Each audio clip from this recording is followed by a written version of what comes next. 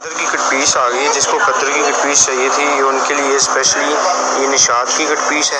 ठीक है, हर पीस पे स्टैंप लगी है निशात बाई खतर ठीक है?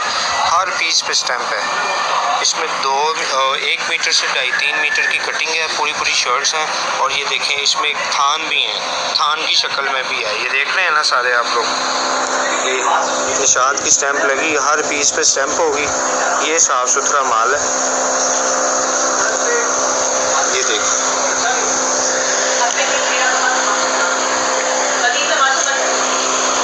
उसके बाद एक ये बंडल है निशात का, छोटा सा बंडल है।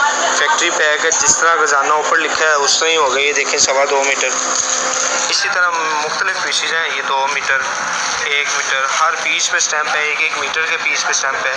ये बंडल है गुल अहमद की कट पीस का इस पर भी स्टैंप लगी हुई है। मैं आपको दिखाता हूँ। ये है जी थर्टी नाइन मीटर का। ये देख रहे हैं थर्टी नाइन ये गुल अहमद की स्टैंप है। स्टैम्प कटी नहीं हुई, पूरी पूरी स्टैंप लगी है। ये देखें, हर पीस पे स्टैंप है।